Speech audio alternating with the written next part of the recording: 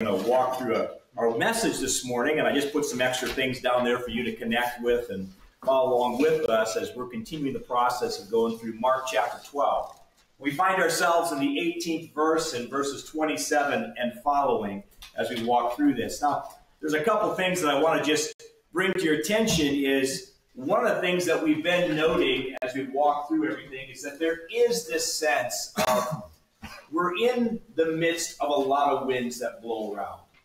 Last week we talked about some of those political winds that exist out there and how difficult it can be to kind of navigate that. And Jesus spoke into the political winds of his time when he was asked a trick question about taxes. You know, should we pay this census tax? And in the minds of the revolutionaries, the ones who considered themselves the true, pure Jews, it would have been absolutely horrible to pay that tax. And Jesus comes back with an answer and says, Pay unto Caesar's what is Caesar's, and unto God that which is God. And he's having a little bit of a, a, story and a little bit of a picture about how we deal with this idea of image. On the coin was Caesar, but our lives bear the image of God. The most amazing thing about that interaction is somewhere in that process, what happened is Jesus left his hearers with a sense of amazement with his answers. They didn't just leave going, oh, that was interesting. They didn't leave just going, oh, oh, that was kind of cool. I think I might use that someday. They left with their jaws dropped and their lives touched. And Jesus was incredible in terms of how he addressed that particular uh, issue that was going on there. But as we take a look at this, we realize there's other wins out there too. Sometimes the wins we get caught up in are just the everyday wins. It's the person who cuts us off in traffic. It's the employee who doesn't perform the way we thought they were going to perform. It's the friend who lets us down. It's the child who doesn't do what we wanted them to do. And we find ourselves caught up in those emotional or circumstantial wins. And we find ourselves responding not maybe as we would like, not as way we think God wants us to, but we end up responding in the midst of that emotional moment. Well, today, as we walk into the scripture passage, we're going to see a great conversation about Jesus potentially getting caught up in what's called theological wins. Because as we walk into Mark chapter 12, we see that Jesus is in the midst of confrontation. And the confrontation is with the religious leaders. Last week was with a group called the Pharisees and the Herodians. Two groups that were far from each other but came together in their common dislike of Jesus and his movement. Today we're going to see another group, and it's called the Sadducees. And this is a unique group that Jesus has the opportunity to connect with and uh, in the most he's talking with. And so we want to take a look at what this is and what he has to say for us. And I'm really calling my message this morning what I call uh, the resurrecting our walk. And I think as we walk through, you'll get a chance to see why do I why I call it resurrecting our walk and uh, in terms of that. Now, as I mentioned this idea of getting caught up in winds, I just want to share a basic concept with you. And that's these things. Number one is when we think about how we behave in our world and why it's so important for us to spend some time talking about theology or spend some time talking about scriptural principles.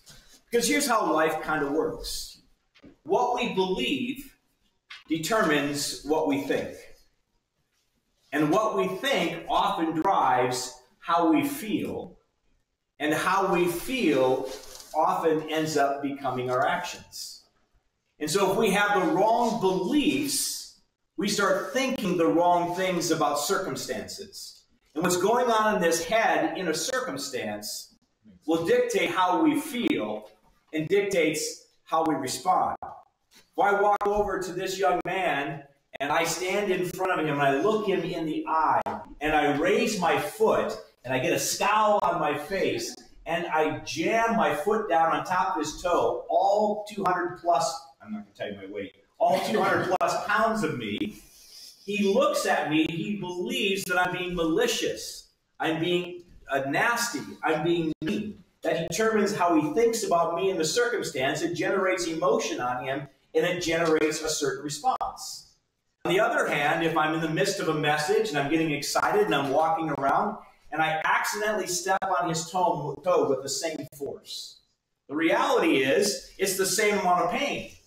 But he believes something different about the circumstance that caused him to think differently about me. Now, he still may be frustrated with me and call me what? Irresponsible, that big blob up there, can you not stay in his space? It's bad enough I have to sit in the front row where it's the spit zone. But the reality is, he looks at the circumstance differently and he feels about it differently. In most cases, he responds differently.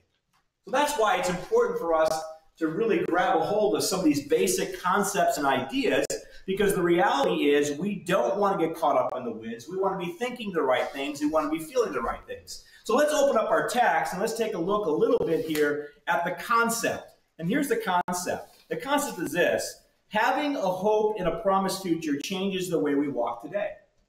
So if we're going to change our perspective and we walk into life with much more hope, we think about our circumstances differently, we feel about them differently, and we act differently. And so hope is a powerful motivator in life. But let's take a look at Mark chapter 12 now, verses 17 through 28, and hear what uh, he has to say to us about this. So in Mark chapter 12, verses 18, he says this. We'll start 18. Then the Sadducees, who say there is no resurrection, came to him with a question. Teacher, they said, Jesus wrote for us that if a man's brother dies and leaves a wife but no children, the man must marry the widow and raise up offspring for his brother. Now there were seven brothers. The first one married and died without leaving any children. The second one married the widow, but he also died, leaving no child. It was the same with the third. In fact, none of the seven left any children. Last of all, the woman died too. At the resurrection, those whose wife will, whose wife will she be, since the seven were married to her?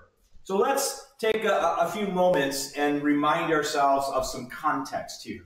We have to understand what's going on with the Sadducees and the Pharisees and understand this ultimate discussion about what we believe about something called the resurrection.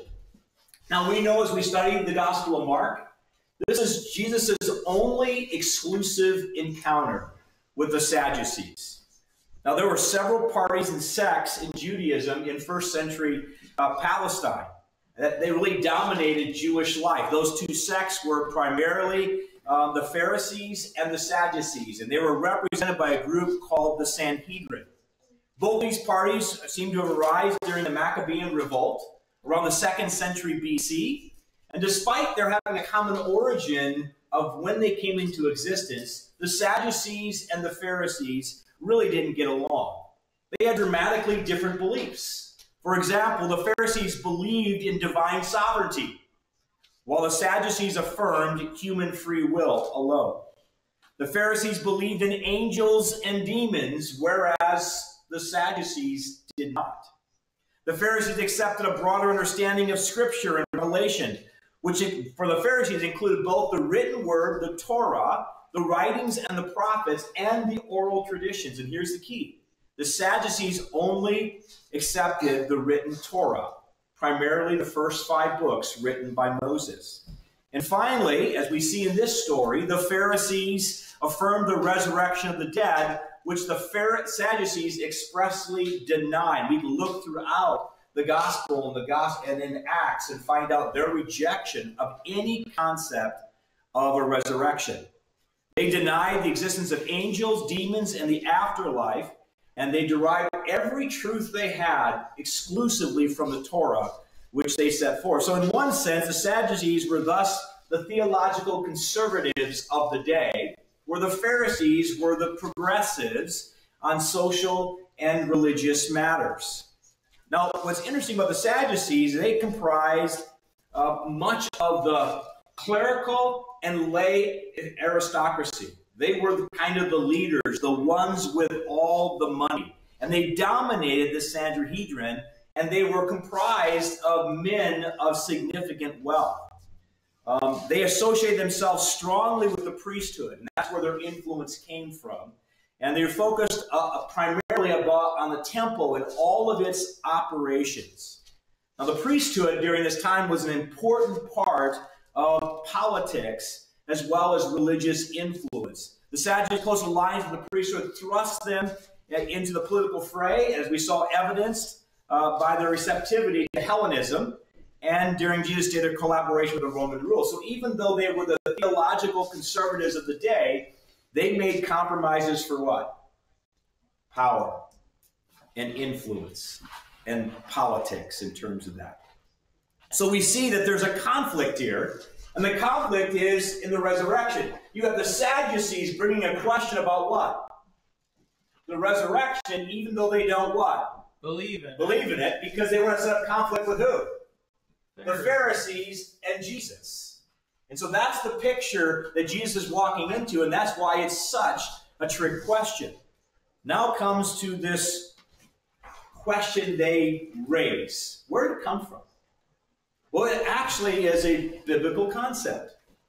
It's talked about in Genesis 38, verse 8, and it's talked about in Deuteronomy 25, 5 through 6. So you have to understand something. In the Levirate marriage was a practice whereby a man was obligated to marry a childless widow of his brother in order to preserve the name and memory of the deceased brother and to assure the establishment of his deceased brother's property inheritance within the family. We see the first practice mentioned in Genesis chapter 38, as I mentioned. And this was the idea that a widow during that time didn't have a way to support herself. And all of her husband's inheritance could be lost by the death of him. And so the way they dealt with this was saying, well, there's a responsibility of a family member to take that woman and her children as his wife, allowing the eldest child, son, to carry on the name and preserve it was one of the ways in which they were trying to protect the Jewish people from intermarrying and, and uh, really getting outside the other parts of the code. So this story that arises really comes from the scriptures. The responsibility when one died. Now, this particular story, believe it or not, comes from the Apocrypha. There was a story about this guy who lost his, you know, had this continual death. of this woman had a continual death of these spouses. And so they're kind of digging back into the Apocrypha, pulling up a story, adapting it to create conflict between Jesus and the Pharisees. Is he going to agree with the Sadducees and say there is no resurrection? Or is he going to try to, in some way, say there is a resurrection, causing difficulties in these religious groups? Do you understand the conflict? Do they really care what the answer, by the way? Are they really interested in Jesus giving a profound answer? No. This is all about how in the world can I conflict and create a problem for these people.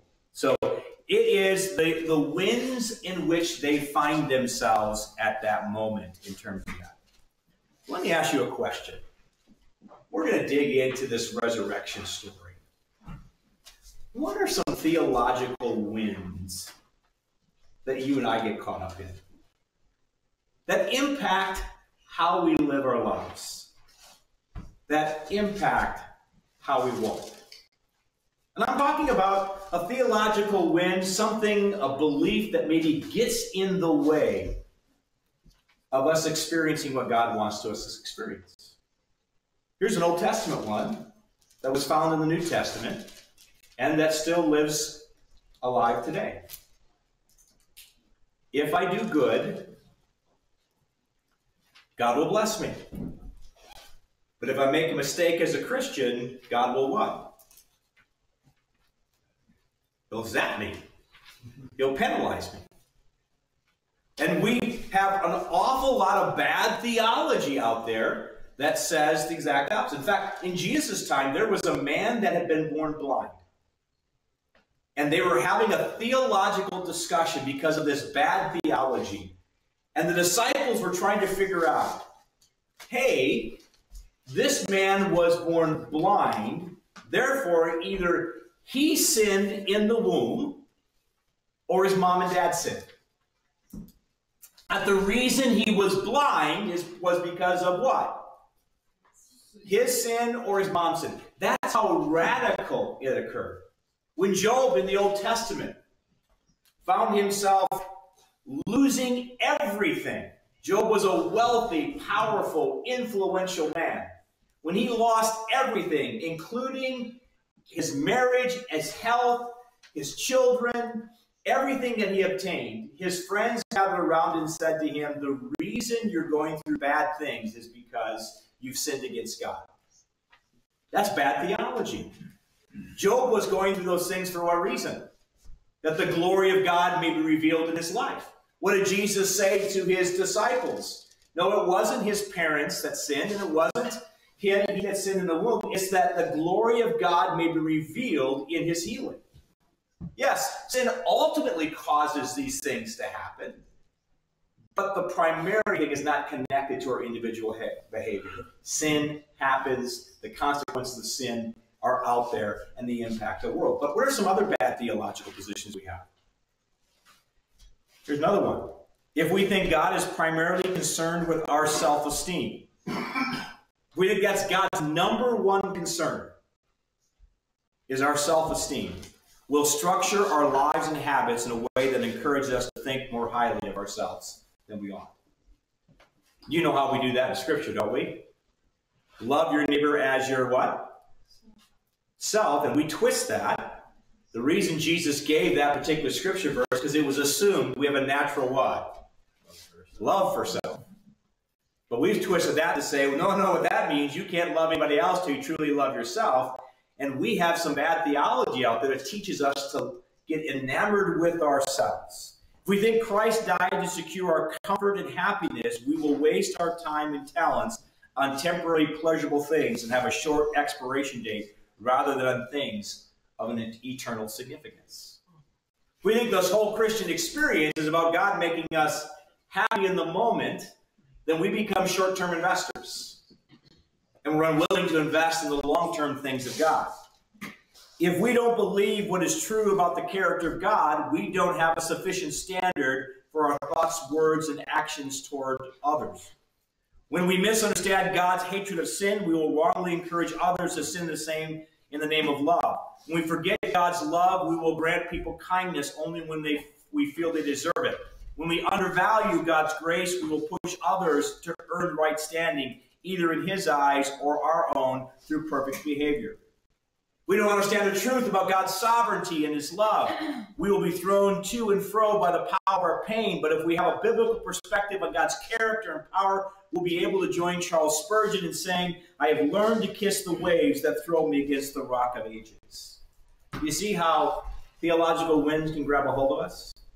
Do you see theological winds going through the Christian community and the church today? Where we get lost and we get swept away from the original tent that God wanted us to have. And so we see a very powerful uh, perspective here in terms of it. Well, let's take a look at this idea of hope has a powerful impact in our everydays.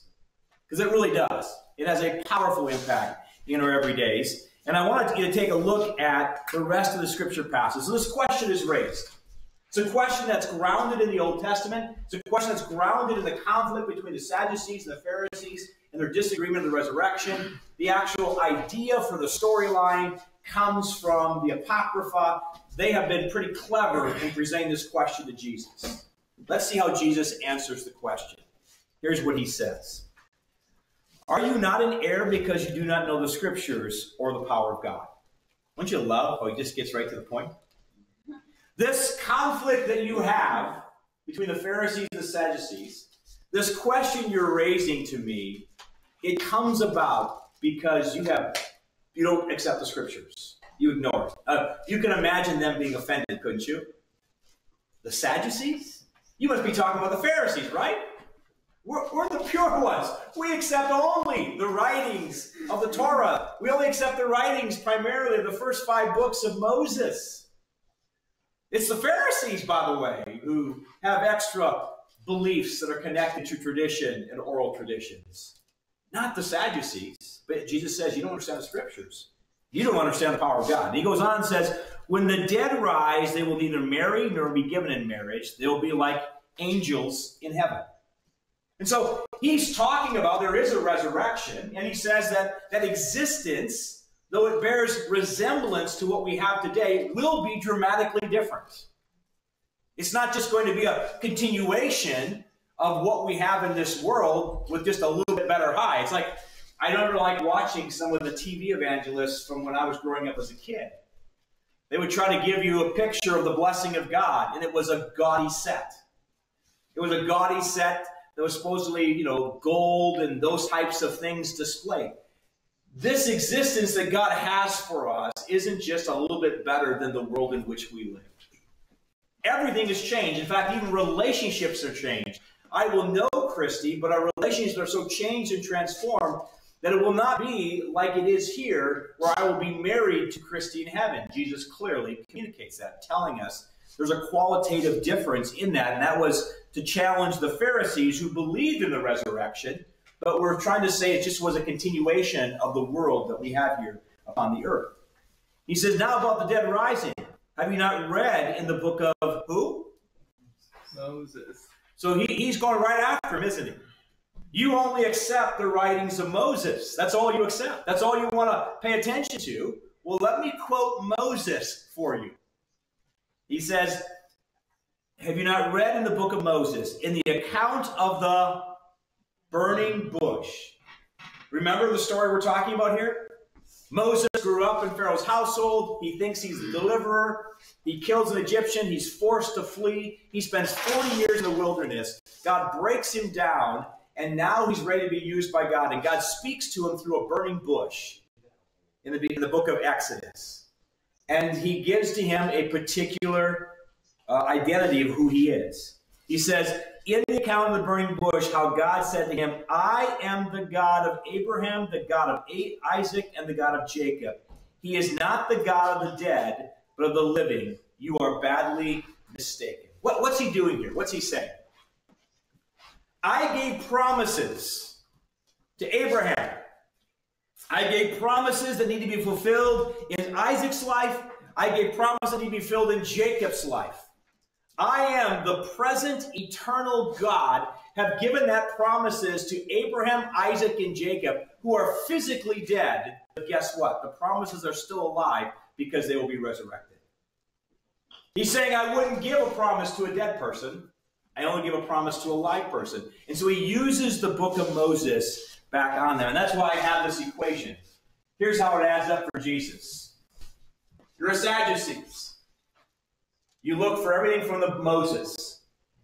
You go to a, a, a, a pivotal experience, Moses being called out of the burning bush, and you go to that powerful phrase, who, who are you? I am. I am the God of Abraham, Isaac, and Jacob. I am the God who's made promises that is yet to fulfill in Abraham, Isaac, and Jacob's life. When you add that all together, it comes that there is a reality of a resurrection that's coming down the road. That there is something more to this world and this life in which we find ourselves. But why do I raise this with us for? Because I really believe we can't afford to live hopeless lives as followers of Christ. It's this time and season where I see a lot of it. We're so focused on watching what's happening on cable news and listening to politicians speak, either good or bad, about circumstances. We hear people talking about what's good about our country, what's bad about our country. We hear all these voices coming up. We get all these flyers in the mail and people knocking on our doors. And before long, we can become rather what? Hopeless about our world. What if November 5th doesn't go the way you think it should go? Are you going to walk around, put your hands in your knees, and say all is lost? Because your side, your person didn't win? Or do you have a hope of something greater? That doesn't just change you after November 5th, but changes how you walk today and the manner in which you do things. Because here's what hopelessness looks like for believers. When you feel hopeless in a circumstance, that's why I asked you to identify. You feel all alone, don't you? You, you feel a little bit like King David. Open the Psalms up. How do most of the Psalms start? Oh God, my enemies surround me. I'm all alone. I'm all by myself. Where are you, oh God? Where are the people that support me? Or as I like to say from my song as a kid, um, uh, um, you know, Worms, remember song? Nobody likes me. Nobody likes me. Everybody hates me. Why don't I eat some worms? Long, slender, slimy ones, short, fat, and juicy ones, itty bitty, fuzzy, wuzzy worms. Down goes the first one. Down goes the second one. Oh, how they wiggle when they squirm. Long, slender, slimy ones, short, fat, and juicy ones, itty bitty, fuzzy, wuzzy worms. Mom, I don't feel so good. Up come the first one, up come the second one. Oh, how they wiggle in they world. I mean, don't we begin to feel like that? We walk around, we have no hope. We believe that life is confined to what I'm experiencing at the moment. Life is confined to what happens between the time of my birth to my death. It can be rather a lonely experience. Or we have feelings of shame and guilt. Hey, I got to tell you, you got a story. And I'm glad when you share your testimony with me, but I'm guessing you're like me. There are parts of your testimony that are just between you and God. Hey, let me give you a hint here. You still sin. You still do dumb things. You still get caught up in things. And if you don't trust in what God has done and his promises and the promise of the resurrection being fulfilled by what Jesus did upon a cross, you carry around what? Shame and guilt. God can't forgive me. And we feel beaten down, we feel broken. We have no passion, positive expectations, or enthusiasm. I don't know what's going to happen November 5th. Who cares? I do care. but it's not the determiner of my joy. It's not the determiner of my ministry. It's not determining what God's, who God's called me to be, what God's called me to do. Our walk isn't determined by when who wins an election. Our walk isn't determined by whether everything's going good or things are going bad at the moment. Our walk is determined by the fact that we know what God has provided for us. I'm a fellow heir with Christ. I know what my inheritance is. It's everything Jesus has secured. Everything that is his, he is sharing with me. He's made me that fellow heir. Lack of faith. God, I can't trust you. How can I trust you, God? Gloom and despair that gets expressed in anger and frustration and bitterness. That's what it means to walk around if this is all that life is. I gotta tell you, if this is all that life is, life is unfair. Because that is the truth, isn't it? Why do some people get born into certain families and have all the opportunities? Why do some people get blessed with good looks? I mean, some didn't get blessed with good looks.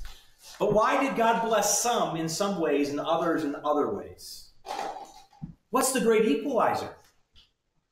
It's called the resurrection of Jesus Christ and our resurrection, where everything is made new and everything is complete in terms of that. And so we take a look at this whole concept. God calls us to live lives of hope. He calls us to be those who grab a hold of the truth of God's word and his promises and live them out, even if we won't experience them until he returns and he establishes his kingdom forever and ever. Amen. That's what it means. That's what Abraham did. That's what Isaac did. That's what Jacob did. That's what Moses did. That's what King David did. That's what the apostles did. They had a first fruits as the apostle called the Holy Spirit, but they still awaited and longed. Look at Paul writing in the book of Philippians. He says, I long to be with you, Lord but I may have to stay here for the sake of ministry. But it'd be far better if I go with you. That was Paul's perspective. So let me ask you this question Where in your life do you need the life of Christ, the promises of God, be you for there to be a resurrection? Where are you down and gloomy and depressed about? It may even be because of your own stupidity or disobedience or lack of discipline. Where is that area in life that you just feel exhausted? I got to tell you something. Through the promises of God and the hope that awaits us because we know there is a resurrection, God wants to create an empty tomb experience for you. You know what happened when the women and the disciples went and saw the empty tomb? What happened? were filled with excitement, filled with passion. They were overwhelmed because they knew that God kept his word. God wants to walk into some of those dead, despairing areas of our life. And he wants to resurrect our walk with his promises. know what the most amazing thing is? It's not that you and I have easier lives than those who don't have Jesus. It's not that you and I have a never have problems because we have this gold card that God gave us because we happen to follow Him. No. It's that in the midst of all that, we know that's not the end of the story. We know there's always coming a resurrection day. When even that injustice, that pain, that disappointment, that lack of healing, whatever it may be, is going to be set aright by Christ when he returns. Isn't that exciting? I want you to have that hope. I want to make sure that you know Jesus. And that no matter what you're walking through, you have the opportunity to watch him change you in the moment, even if your circumstances don't change. Because you know there's something more that God has in store for you. Remember, I talk about this all the time? Where are you in relationship to where Christ can touch your life? Remember, we use those five things? What are they? What's the first step? The step of what? Unconcerned. Well, you're probably not there because you're here today. The unconcerned people, they just don't care. They may know a lot about God or they may know what? Nothing about God. They just don't care. But sometimes something happens in their life. It could be an experience at work, something in the family. It could just be even a health scare or just aging. And all of a sudden you start thinking about God and you move up to what step? The step of concern. You start thinking about God. You think about coming to church, you start reading the Word, maybe going to a Bible study. You have some questions about life and death and where you fit in all of this. And you move up to that concern step. And sometimes in the midst of the concern step, as you open up God's Word, you open yourself up to His truth, you start to feel a little uncomfortable with the way you're living your life. And that moves you up to what step? Step of conviction. Which is nothing more than what? Spiritual discomfort. Oh man, I had these questions. I started going to church, started going to a Bible study. Now God's speaking to me, and I realize some of the ways in which I'm living my life don't match up with Him, and I feel uncomfortable. And sometimes we feel so uncomfortable, we move up to the step of what? Repentance. What's repentance? Whoa, this doesn't feel good. We start to reform our behavior. We start to change. It's called a spiritual U turn. Now, here's the key whether it's unconcerned, concerned, convicted, or repentant, that person has yet to become a Christian. They may look like one on the outside. They may have all the behaviors on the exterior. No, it takes the last step. And the last step is faith in Christ. And that's where you say, Lord, no matter how hard I try, no matter how hard I grit my teeth, no matter how many times I read your word or Bible studies I go to, I realize I never can do enough and I can't deal with my past. And God, I continually fail. So I'm just going to take this mess of a life, all that it is, and I'm going to trust you with it. I'm going to trust you to become the leader of my life.